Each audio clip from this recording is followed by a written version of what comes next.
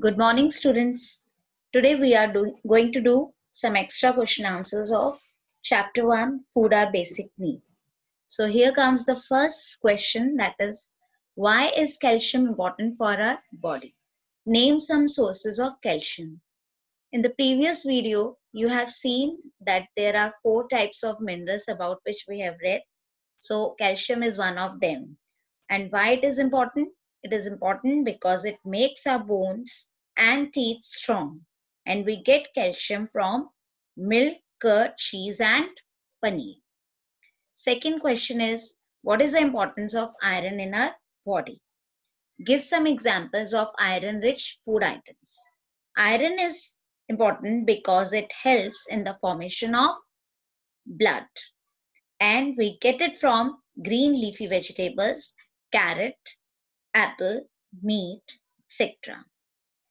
Third question is why should we drink 6 to 8 glasses of water every day? We should drink 6 to 8 glasses of water every day because water helps us to stay healthy. It helps in the digestion of food also.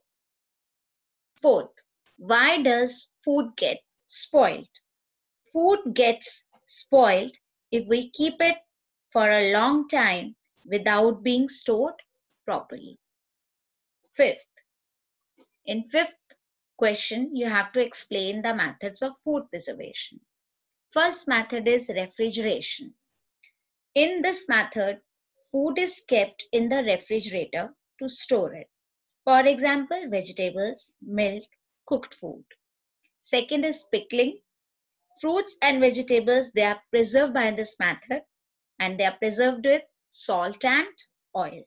For example, carrot, raw mangoes, etc. Third is drying.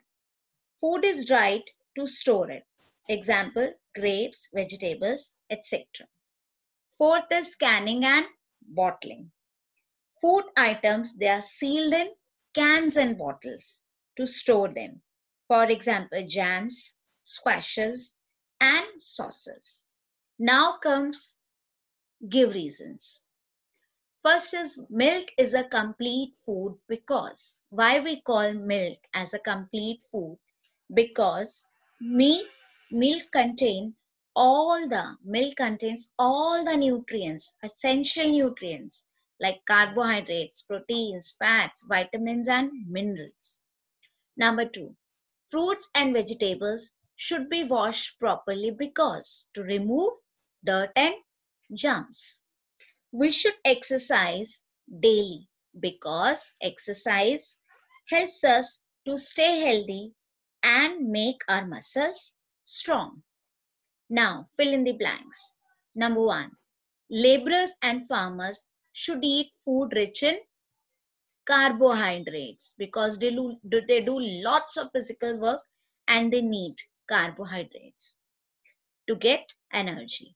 Number two, dash and dash are needed in small quantities by our body. Vitamins and minerals, they are needed in small quantities by our body. Number three, dash gives more energy than carbohydrates. There are two energy giving nutrients, carbohydrates and fats.